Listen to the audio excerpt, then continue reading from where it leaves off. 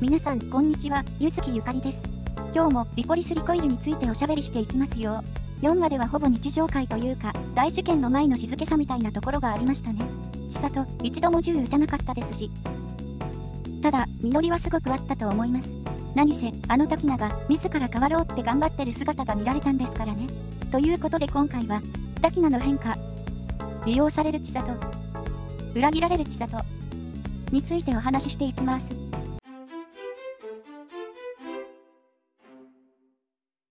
前回吹きをぶん殴ってちょっと吹っ切れた滝名でしたけど、今回はその続報って感じでしたね。ゴム弾を使おうとしてみたり、あ、ゴム弾って実弾に比べて当てにくいんですかね。実弾では100発100中だった滝名がゴム弾だとさっぱり当たらなくなってましたので、あと千里に付き合ってパンツ買いに行ったり、家族でアニメ見てた人は結構気まずかったんじゃないでしょうか。あと、スイーツも一緒に食べてましたね。しかも、美味しい。で、この笑顔、千里が言ってた他に目を向けるってのを、やり始めてるんだと思います。今までずっと DA で働くことが目標であり生きがいだった滝名が、他に目を向けてってどうなんでしょう？できるものなんでしょうか？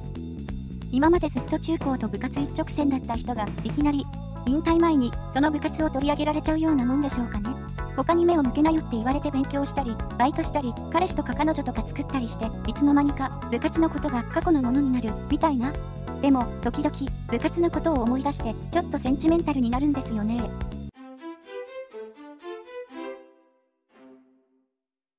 今回、ダキナがやけに千里に突っ込んでいろいろ話を聞いてきてましたね。なんでゴム弾使ってるかとか、いつ頃からそうなのかとか、なんで DA を出たのかとか、おお、いろいろ秘密が明かされるのかなって思ったんですけど、結局はあまり情報公開されませんでしたね。ただ、千里が DA を出たのは会いたい人を探すためなんだとか、自分にこのペンダントをくれた人、実はそれがきっさりコリコに逆としてきている吉松だってことが後でわかるわけですけどお礼言いたいだけなんだけどなってほんとそれだけ？ちょっと含みがあるような気もするんですけどねそれとあの DA がたったそれだけで外に出してくれるもんなんですかね。千里が今やってることってきっと千里が外に出たいって言ったから無理やり作った仕事って感じじゃないですか。本来の仕事じゃないんですよ。でも千里が外に出たいって言ったから仕方なくそういう仕事させてるってだけで。それって千里の外に出たい目的が TA の利害に関係することなんじゃないでしょうか。波乱期間の人をあぶり出すためとかいやまあそれくらいしか今のところ思い浮かばないんですけどね。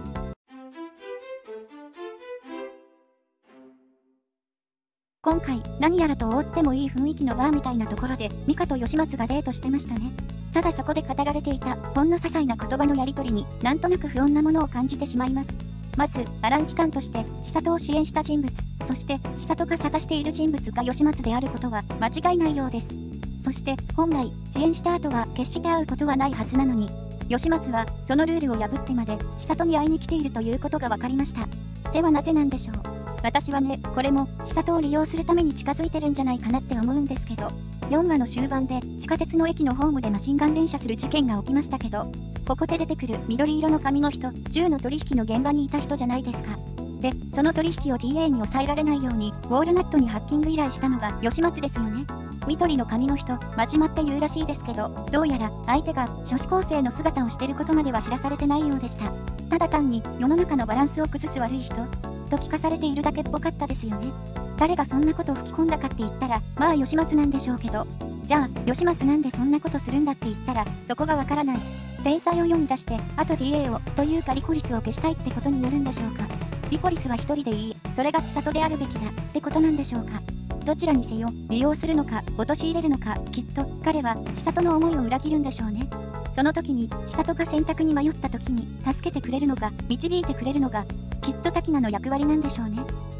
そういえば、リコリコのお客さん、マスコミ関係者がいたり、警察がいたり、天才ハッカーがいたり、いろんな方面にいろいろ力のある人が揃ってる感じしません。吉松と美香の約束って、そういうこと？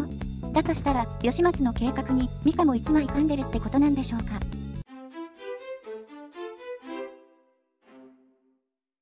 ということで、4話の感想は以上です。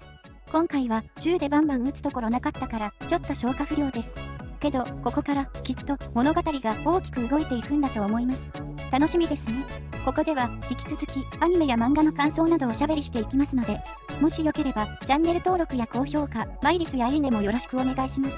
ではでは、ご視聴ありがとうございました。